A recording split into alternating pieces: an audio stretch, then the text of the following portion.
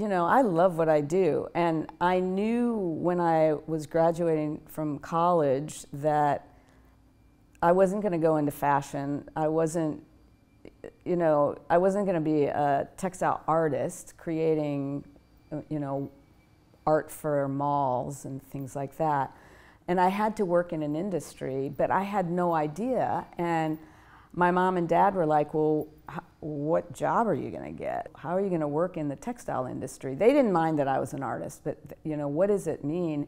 And I said, I don't know. And and then I, you know, I started thinking, oh, what am I going to do? And then my mom, so she had all these magazines, interiors magazines. So I started looking through them and I saw these textile companies that, that were advertising. And I'm like, that's what I can do my work actually looks like that person's work. They'll, they'll hire me. And that's what I did. I called all those companies from, you know, a lot of them were like, well, we don't hire weavers from Iowa.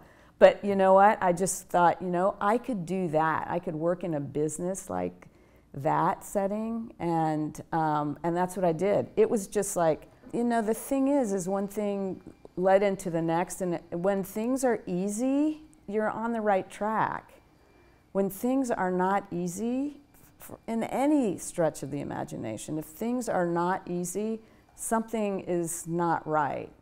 We all know that, you know, like it just is the phenomenon of nature. You know, nature's organizing powers are really strong and they either make it really easy or you're, you know, struggling. And when you struggle is when you have to go, okay, maybe I need to go another path. This is not working for me.